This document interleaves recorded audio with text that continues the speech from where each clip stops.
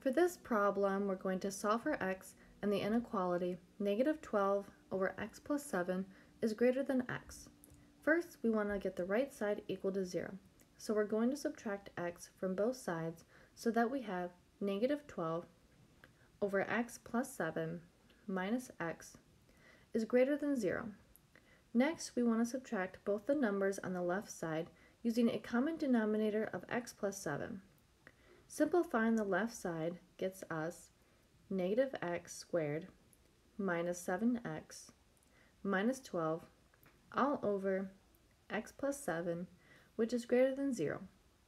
Lastly, we can multiply both sides by negative 1 so that we have x squared plus 7x plus 12 all over x plus 7 is less than 0.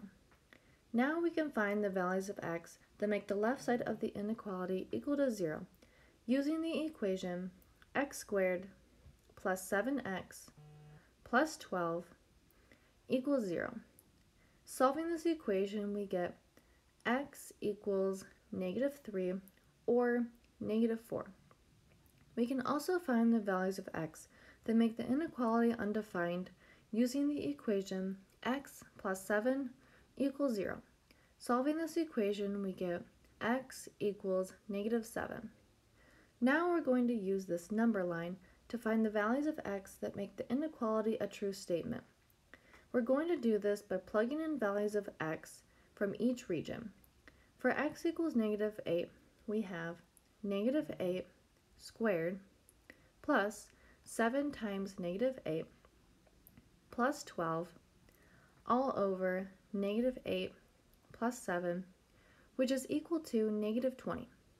Since this number is negative, this means that x values less than negative 7 will make the left side of the inequality negative.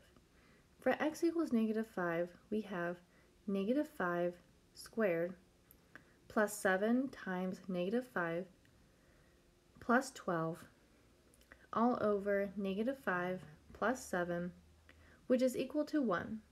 Since this number is positive, this means that x values between negative 4 and negative 7 will make the left side of the inequality positive. For x equals negative 3.5, we have negative 3.5 squared plus 7 times negative 3.5 plus 12 all over negative 3.5 plus 7 which is equal to negative 1 14th. Since this number is negative, this means that x values between negative 3 and negative 4 will make the left side of the inequality negative.